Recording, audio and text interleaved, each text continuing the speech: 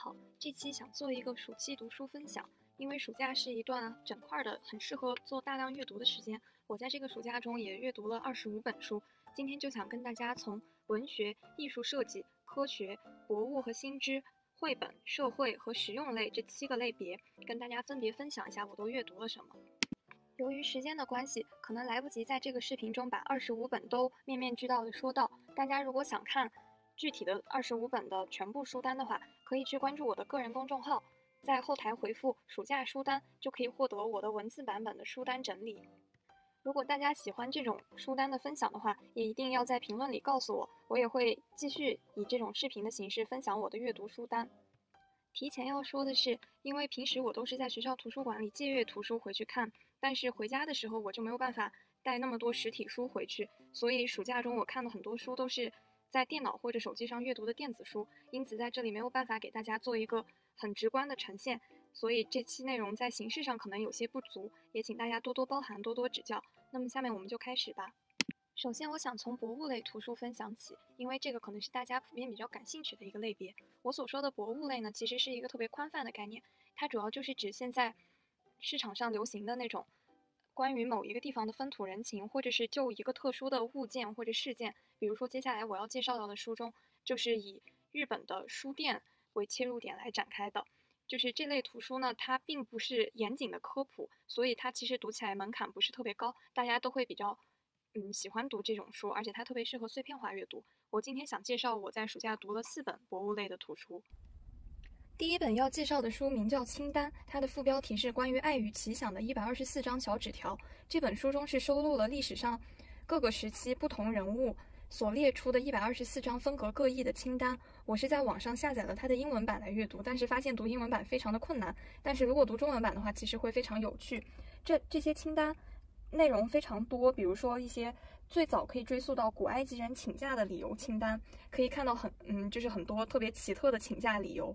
包括还有一些像是达尔文的父亲不支持儿子事业的多少种理由，还有爱因斯坦要求他的妻子遵守的协议，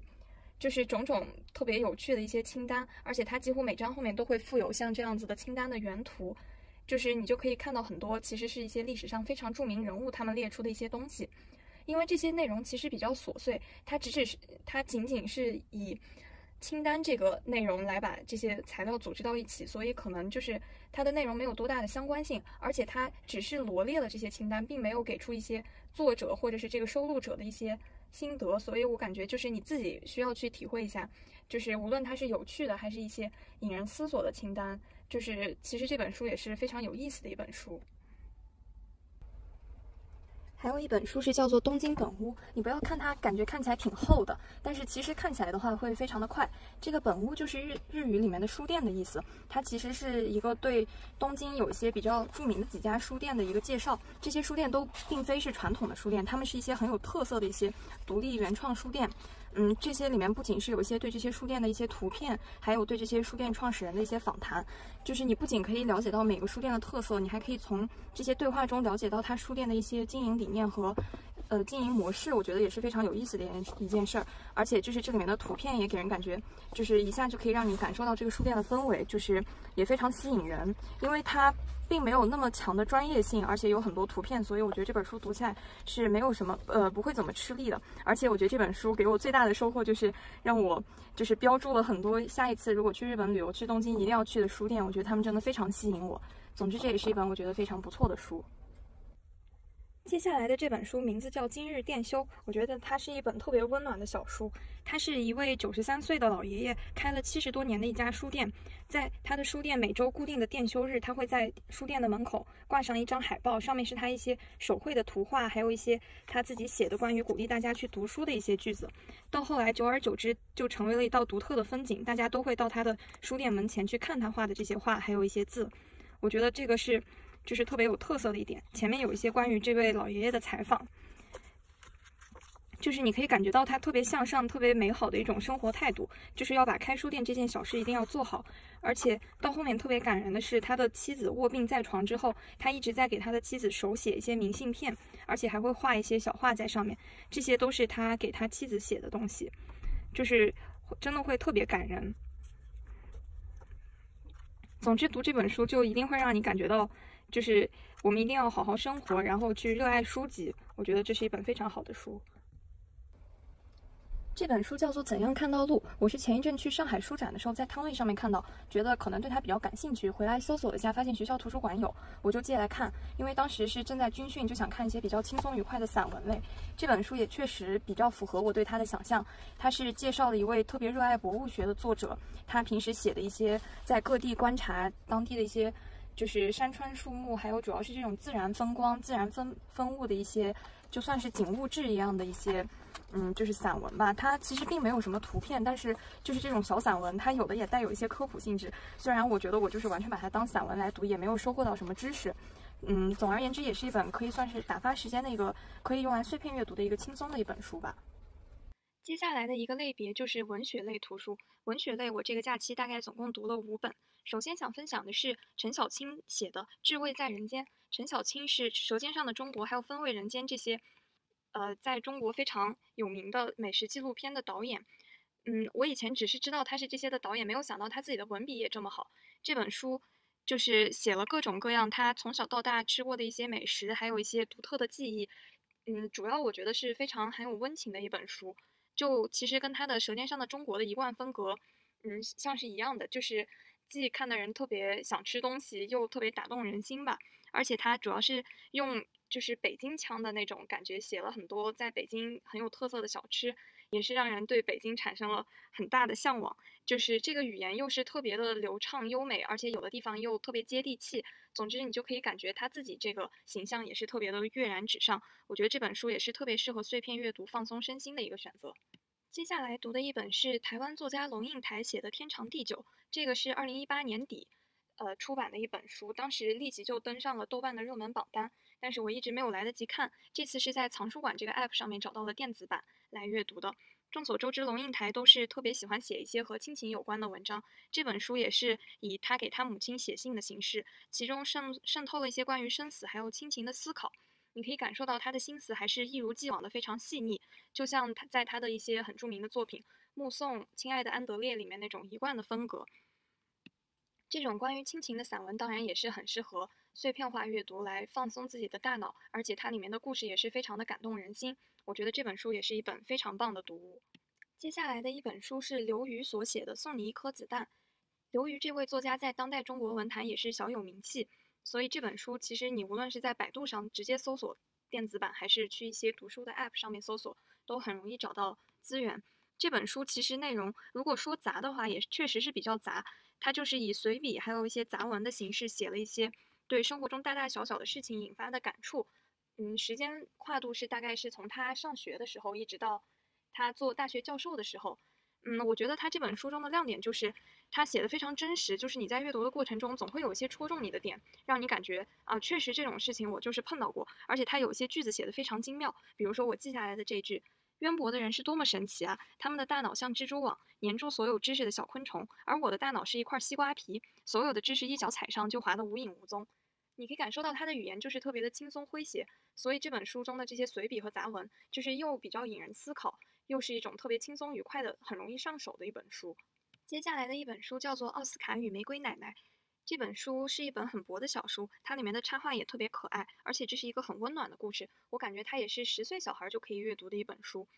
这个故事大概是讲一个小男孩被诊断出了绝症，他的生命可能只剩下十几天的日子，而跟他一块住院的一个老奶奶就启发他说，就是没有告诉他这个真相，而是给他讲，他可以把每一天都当做十年来过。所以这个小男孩就煞有介事的真的把每一天都当做十年。嗯，比如说某一天他就是三十岁到四十岁的自己，这样他就幻想自己以这种成人的身份去度过每一天，自己应该做一些什么事，最后居然就真的特别感觉像是充实的，像过了一生一样，最后活到他假想中的一百二十岁的时候，他安然的死去。这本书中主要是收录了他在每个他幻想的十年中，其实就是每一天给上帝写的信，大概就写一些他以一个儿童的视角。特别单纯幼稚的一些关于生命的思考，我觉得这本书就是也是以一个儿童的视角，特别单纯的去用简单的笔触，去探讨了一个生死这样很宏大的话题，但是又不让不让人觉得特别的枯燥，而且这个故事真的非常温暖。最后一本文学类别的书籍其实是一本诗集，它是葡萄牙诗人佩索阿的一个诗集。这是我第一次读外国的诗集。嗯，如果不是作者比较大名鼎鼎，我也不会涉足的，因为我总感觉读诗还是要去在他原本的这个语言里去感受。不过可能这个作者的母语我也不会，所以也没有办法阅读，所以就去读了一下他的中文翻译版。我觉得也是完全没有让我失望，里面有些句子特别脑洞大开，既有趣又特别可爱。虽然我觉得诗集其实是应该作为一个枕边书，每天。闲暇时候翻一翻，读上一两首。但是因为这本书是我在学校图书馆借的，它有一个借阅期限，所以我就有点囫囵吞枣的，很快的读完了这本诗集。但是也记录下了里面一些很有趣的句子，比如说“吃你的巧克力，小女孩，吃你的巧克力。相信我，世界上没有比巧克力更好的形而上学。”其实这句话就挺感觉挺无厘头的，但是就是也非常可爱。再比如说“心体广大的失眠等着我，一个宽阔如世界的无用的哈欠。”这个也是，就是让人读不懂，但是我就觉得这个句子莫名就很吸引我。我在读诗集的时候就经常会记下来一些这样的句子。还有一个我觉得非常浪漫的句子，就是“而我的心略大于整个宇宙”，其实也是读不懂，但是就是很美好。而且还有一个可能有点匪夷所思的，就是“不要抓着我的胳膊，我不喜欢胳膊被抓，我想独自一人”。这个其实就是我把它记下来，就是因为它正好和我自己的一个习惯完美契合，就是我不喜欢别人抓着我的胳膊或者。就是用胳膊搂着我的胳膊，就连我在初中、高中时候关系最好的几个女生，她们有的时候和我一起并肩走路，特别喜欢搂着我的胳膊，我都会委婉的告诉她们，能不能不要搂着我的胳膊，这样会让我很难受。下面我们来进入科学这个分类。这个暑假我读了三本和科学有关的科普读物，我觉得质量都特别的高。首先想说的就是一本《时间的秩序》，这本书的作者其实有很著名的一个科普读物，就是叫做《七堂极简物理课》，而这本《时间的秩序》是。前一阵在豆瓣上一直是高居非虚构类图书的榜首。要说它是什么内容的话，可能说出来有点吓人。它是从广义相对论的维度来探索时间到底是怎样一种东西。嗯，但是其实它并没有你想象中的那么难读，因为毕竟大家想一想，在豆瓣上面有那么多人给它给出评分，但是大家不是都有很高的科学造诣，但是都能感受到这本书的美。我觉得是因为作者普遍来说他用的语言还是比较，嗯，就是易懂的，而且。这本书作者的文学造诣高到，我觉得你可以完全不把它当做一本科普读物来读，你就把它当做一本文学类图书来读，它都像诗一样的语言，就是特别的美。比如说，作者最初提到时间这个概念的时候，就会用一些特别简单的语言来描述。要描述世界，并不需要时间变量，需要的是真正描述世界的各种变量。我们可以感知、观察并最终测量的数字：道路的长度、树的高度、额头的温度、一片面包的重量、天空的颜色。地球穹顶之下星辰的数量，一节竹子的弹力，火车的速度，一只手压在肩膀上的压力，失去的痛苦，钟表指针的位置，天空中太阳的高度，这些才是我们描述世界的术语。所以你可以感知到，就是读完这本书之后，就会感觉时间真的是一种奇特又瑰丽的东西，哪怕你可能没有完全理解它所使用的一些术语。所以接下来我实在是被这位作者的才华深深震撼，于是就看了另外一本他写的书，叫做《现实不似你所见》，也是一个关于我们身处的世界还有宇宙的一本科普读物。它的副标题是《量子引力之旅》，所以它其实主要是从量子物理的角度来谈的。嗯，我觉得这本书其实比《时间的秩序》可能还要更难读一点，不过它涉及的范围更加广泛，不是像《时间的秩序》那样主要是以时间来作为它的描述对象，它就是更宽泛的描述了宇宙中的各种自然现象。文笔也是非常的好，所以我觉得其实这本书也很值得一读。接下来的一本书叫做《从一到无穷大》，它是一本很著名的科普类读物。去年它也被清华选为。送给二零一八届新生的书，我读完之后也非常理解为什么清华做出了这个选择。因为如果你是学过高中物理、化学、生物的理科生的话，你学过的一些知识可以和这本书完美衔接。但是如果你是文科生或者艺术生，没有这方面的基础知识，你也不会觉得很枯燥，因为这本书的叙述实在是非常的有意思，而且书中还配了一些特别有趣、有助于你理解的一些插图，就会让你感觉到。确实这本书是很有意思，而且主要是可以激发你对科学的兴趣。至于它确实写到了一些特别难懂的内容，比如说拓扑学还有量子物理，我觉得这种就是你就看看就好，就是了解一下，呃，大致了解一下是怎么回事，也没有必要去深究。总而言之，这本书真的我觉得还是特别值得推荐的一本科普读物，因为它实在是可以让你感觉到科学也是很有趣的一件事儿。读完这本书之后，我甚至感觉到，就是我在大学里面学的专业跟物理和化学还有生物就。就此告别了，也是一件挺可惜的事。而且作者用的一些叙述确实是非常的生动，比如说，就是他会以双苹果还有一些面包圈来类比一些就是空间曲面或者是一些特别难懂的一些概念。下面我再来说一说关于我阅读的两本社会方面的书。第一本是叫做《人行道王国》，它是作者采取田野实验的方法，耗时了五年，在纽约的第六大道观察、接触街头小贩，对他们组成的特殊的小社会进行了深入的描写，发现他们虽然总是被认为有碍观瞻，是一群边缘群体，但是实际上他们对社区起到了一些正面作用。我觉得这本书的可贵之处就在于它表现了对每一个。社会群体的尊重充满了人道主义和社会道义的关怀，而且它可以引发你对城市生活，还有一个城市的结构以及阶层分化的一些思考。接下来的一本书也是听名字比较恐怖，它是法国的哲学家卢梭所写的《论人与人之间不平等的起因和基础》。我觉得这本书真的是特别令人赞叹的一本书。它只是为了论证题目这个概念，它上溯到文明的发端，而且旁征博引，将任何学科的知识和观念都运用的特别自如。我第一次读这样子，就是比较算是论文一样的书，但是发现它的语言和行文也不是很艰深。嗯，但是。就是可能存在的问题，就是读的时候感觉每句话都能读懂，而且觉得他说的很有道理，但是读到结尾却发现没有理清他整体的论证思路。因为他为了论证同一个问题写出了一本将近二百页的著作的话，他其实就是在这个终极的问题之外又引出了很多分分支的问题来支撑他的论点，所以到最后很难搞清楚这些问题的内在逻辑关联。但是毫不影响你阅读的过程中的那种就是叹为观止的感觉，因为作者实在是特别的博学，而且。我觉得这种书就是读来，你哪怕只是去领略感受一下，原来世界上在这么早的时候就已经有了这么厉害的人，也是一种非常好的阅读体验。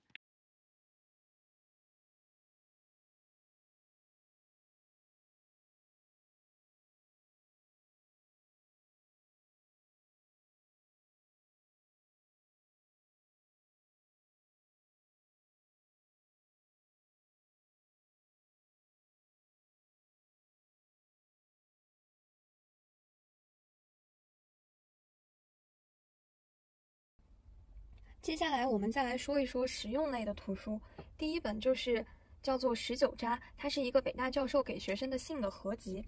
嗯，这是一位大学教师解答学术学生提出的一些和学术相关的疑问的书信，总共有十九封。它是讲述了很多和学术规范、学术方法有关的问题。我们来看一下目录，它其实就是一些。比如说大学的意义与性质，关于科学阅读，关于思考阅读，关于外语，还有一些学习方法，比如说制作资料卡片，还有怎么样利用一些就是文献数据库，还有一些，嗯，就是其实是一些非常实用的建议。就是但是可能因为它的这个时间比较早，其中有一些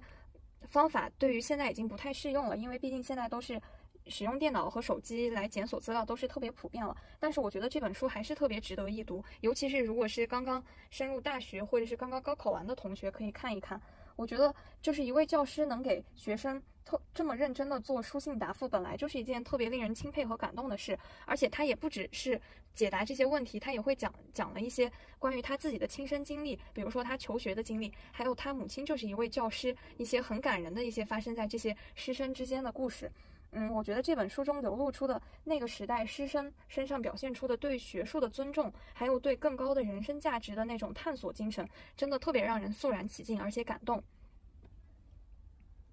接下来是两本和理财有关的书。我突然开始读和理财有关的书，是因为我觉得我一直就是对钱特别头疼，就是我自己平时花钱比较节省，但是我总是也开始觉得，就是你这样节省并不是一个终极的办法。等到无论是什么时候，就是总有一天你会独立生活，而且你要独立去面对你的理财问题，所以不如就是早一点建立一个理财的观念吧。所以我就想着可以从读书开始下手，所以读了一本书，其实是面向更小的孩子的，它名字叫《小小狗钱钱》，它是以一个童话的形式来灌输了一些很简单的理财观。但是我觉得这本书其实是非常好的一个书，而且它在豆瓣上也有特别高的评价，就可以看出来它其实是广受欢迎。它里面不仅是介绍了一些基本的理财观念，而且还会就是对人生也会有一定启发意义。比如说，就是书里提到一个方法，就是可以记成功日记，每天都记下来今天做了哪些事，让自己觉得有收获感和一些成就感，这样就可以让你一直以一个积极的心态去面对人生，而不是觉得自己活得一败涂地。而且它里面其实没有讲述什么具体的理财方法，因为毕竟它是，嗯，算是给小孩子看的。但是就是网上大多数人也反映，就是无论什么年龄看都会觉得很有收获，尤其是受到了正面的激励。我觉得这本书也是非常值得一看，而且因为它是采取童话故事，以一个会说话的小狗给一个小女孩介绍了一些理财知识这种形式来展开，所以其实也比较有趣。接下来的一本书叫做《富爸爸穷爸爸》，应该有很多人听说过这本书，因为它其实是好像是前几年特别畅销的一本书。我一向对这种畅销书，尤其是又是和钱有关的，特别不屑一顾。嗯，读完之后我发现，它确实，我觉得它畅销是有点，嗯，就是过誉了，但是也没有我想象中的那么糟。它里面有一些概念还是值得肯定的，比如说，就是要主动掌握一个主动权去理财，而不要成为金钱的奴隶。而且就是它主要提倡的一个思想，就是你要用你的金钱去换取一些增值的一些资产。嗯，但是可能也是我有点太急于求成或者是实用主义了。我觉得这种理财书它翻来覆去就是把那么几个观念。嗯，说过来说过去，好像没有那么大的意义。就是我总是在希望他能说一些具体的方法论，但是想一想也是，嗯，基本不可能的。如果大家都把自己致富的方法公之于众的话，岂不是太可笑了吗？接下来的一本书是关于时间管理方面的，叫做《奇特的一生》。它其实这本书的核心理念也可以一言以蔽之，就是讲了一个俄国的科学家叫做刘比歇夫，他每天都会一丝不苟地记录下每个时间段内自己在做什么事，数十年如一日，从未间断。这种时间管理方法的确可行性非常强，至少对于我而言是这样。它的意义并不是提前规划，现在有很多人喜欢。就是提前写写第二天的计划，详细到五分钟、十分钟要干什么。但是我基本上没有尝试过这种方法，因为我觉得平时我们要做的很多事，往往不好预估你要花具体多长多长时间。比如说，有的时候我要写一篇微信公众号的推文的话，我也不知道我大概几个小时可以写完。如果我非要规定好每一个时间段前后也没有预留一些灵活的空间的话，如果一件事情没有按时完成，就会很容易影响到后面的每一环。所以我觉得不如踏踏实实做好每一件事。然后像他这样把每件事所花的时间记录下来，这种记录的意义就在于，你可以让你一天中时间的分配一目了然，从而可以实实现一种鞭策的效应。比如说，你可以看到有有的时候你浪费了很多时间在一些你本来没有想花那么多时间的事情上，这样你在以后的时候就可以注意。但是这本书本身其实，嗯，并不是那么好。我觉得他三言两语就可以讲完这件事，但是他请了一些很多人来写一些关于时间管理方面的感慨，就是跟这本书的主题其实没有什么关系。嗯，但是我觉得这位科学家这种时间管理方法还是很值得借鉴的。因为读完了这本关于时间管理的书，前面又看了一本叫做《时间的秩序》这本科普读物，突然就是对时间比较有感慨，然后当时就写了一篇推送，就是关于时间的一些感慨，在我的个人公众号里就可以找到，你可以关注我的公众号，然后在后台回复“时间”就可以查看这篇推文哦。接下来要分享的是三本艺术和设计类的图书。首先要给大家介绍的就是这本写给大家看的设计书。我觉得这本书确实是和它的名字也是名副其实。这本书的门槛非常低，就是没有一些很专业的术语，看起来就是非常轻松，而且又可以让你了解到一些很基本的设计原则。可能因为这本书的呃年代比较久远，所以里面用的一些就是设计的实例，可能现在看起来也并不是那么的好看，或者是一些特别值得夸耀的一种设计。但是我觉得它的理念和原则还是。特别值得借鉴和学习的，比如说一些怎么样制作一个，怎么样去设计一个合理的名片或者是宣传画，像这种上面就是错误示范，就是比如说很杂乱，下面就是用不同的字体，而且把它归个类，然后用不同的对齐方式，还有居中，就是去把它规划的更好。还有这个，比如说也是一个错误示范，然后后面就有经过改良后的例子。嗯，虽然其实他们看起来，我觉得也都没有多么好看，但是因为它会配有一些文字的解说，就是可以让你了解到它为什么要这样去设计，这种设计的内在构思在哪里。对，它里面就是有这样很多的一些例子。嗯，其中还有一些关于不同的字体的介绍，可以让你对英文的字体有一个基本的了解，可以分为哪几大类，这些都是各种各样的设计。我觉得他看完之后，确实可以让你感觉到你已经对就是设计有了大致的了解。而且我看完之后就特别跃跃欲试，我还问我爸他有没有名片，我可以帮他的名片做一个改良。如果他的名片就是有一些设计上的缺陷的话。接下来的一本书叫做《美的情绪：西洋画派十二讲》，它是著名的丰子恺先生写的一本，可以算是美术史论的一本书。呃，我其实自己有点读不下去这种。嗯，就是关于梳理美术史这方面的书，我一读这种书就会关注于它里面每幅画怎么样，而不去看就是对于这种画流派的分析。但是我觉得这本书其实写的还是比较有意思，而且它的主观性比较强，就是融入了很多丰子恺先生自己的想法。而且大家都知道丰子恺先生他的文笔特别的好，我平时很喜欢看他的一些散文，所以这本书的语言可以说也是很优美，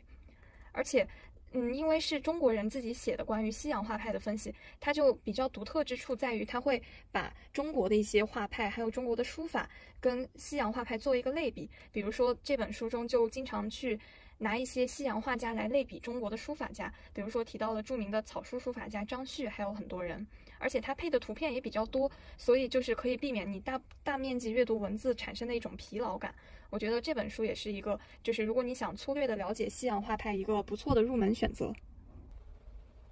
接下来的一本书应该算是一本艺术方面的书籍，但是它其实全程都是一些。画面，而没有一些文字的解说。它是叫《五百自画像》，我感觉这本书是从一个很有趣的角度收录一些画。它是收录了五百幅各个时代不同国籍的作家的自画像。不过非常遗憾，就是里面没有任何中国画家的自画像。我觉得首先就是你去翻这些图片的时候，你可以看到一些很有趣的自画像，比如说这幅就有一个很有趣的表情，而且就是它里面其实不一定每幅。画的作者都特别有名，但是他有些画确实比较有趣，这样你就可以通过那幅画去搜索，因为它有标注这些作者和年代，你可以去搜索一下那个作者，说不定，呃，就就是这个画家，说不定你就会对他非常感兴趣。还有一些就是你可以看到一些你平时早有耳闻的作家，呃，画家，但是你并不知道他自己长什么样。比如说这位雅克·路易·大卫，我们应该都看过他的很多画，但是不一定见过他，嗯，自己的样子。到了后面，就是呃，到了近代、现代，就会有一些不仅仅是以绘图的形式来呈现一个自画像，哦，当然还有这两幅，我觉得就是挺有特色、特别有超现实感的一个自画像。它往后就会有一些，比如说这种图片等等不同形式的，就是也可以算是自画像吧。反正就是给人感觉也是挺有趣的一本书。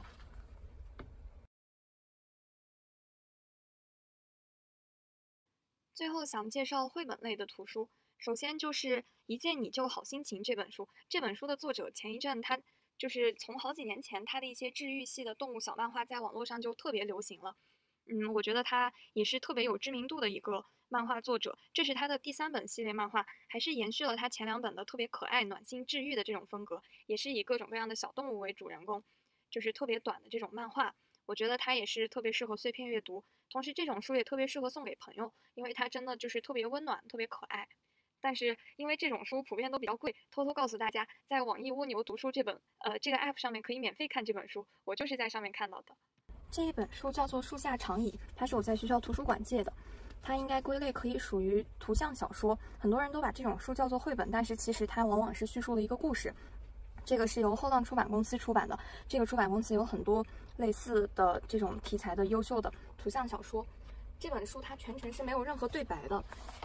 它主要其实就是描写了一些人，他们共同在一个长椅上面发生的一些故事。就是这个长椅，它虽然是一个沉默的物件，但是它见证了很多不同人的人生百态。一些人从年轻到年老，就是给人感觉非常耐人寻味。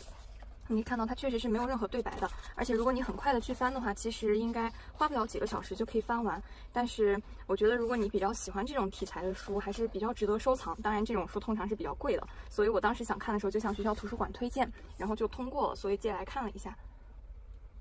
这期的分享大概就到这里，也非常抱歉，因为很多书我没有实体的书来给大家展示，所以就光看一个这种电子的封面 可能会比较的空洞。但是如果大家真的喜欢，就是我这种对于书的介绍的话，因为我每个月差不多都会看很多的书，我以后也会每个月争取都出一期这样子的读书分享。而且因为我现在已经开学了，很多书我都是去图书馆借的实体书，就可以多给大家录一些翻阅图书的片段。那么这期就到这里了，下期再见。